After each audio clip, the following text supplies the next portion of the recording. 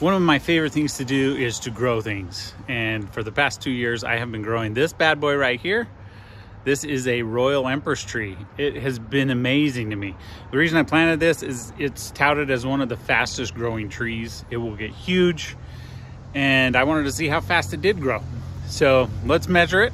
We've now arrived at fall and it's starting to turn cold.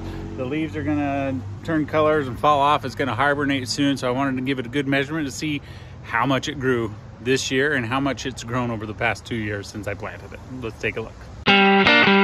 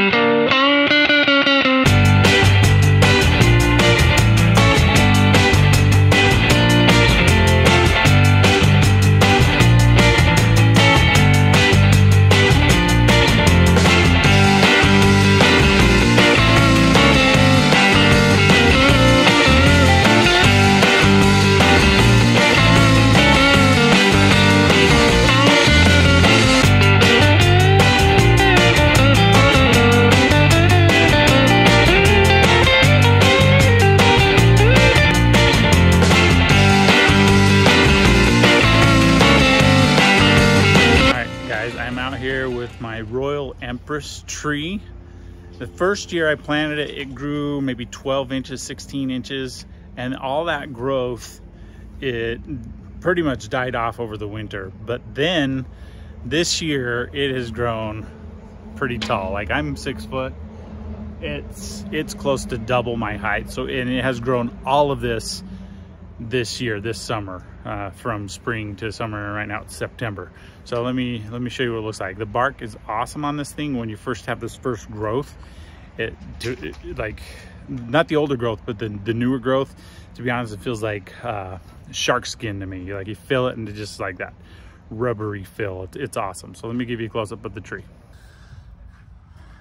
So this this was one of the original growths that uh, died off over the winter and I clipped it off um, this was uh, growth this year, but I, it was in the way, so I cut it, trimmed it. Um, but uh, this is turning into older growth. You get up here to the, the newer stuff, this is already starting to harden. Uh, but right up here, it just feels like that shark skin.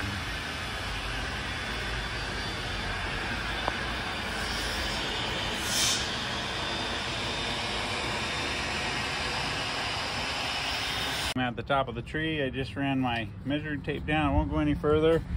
How far does it go? We're at 10 feet here, still going.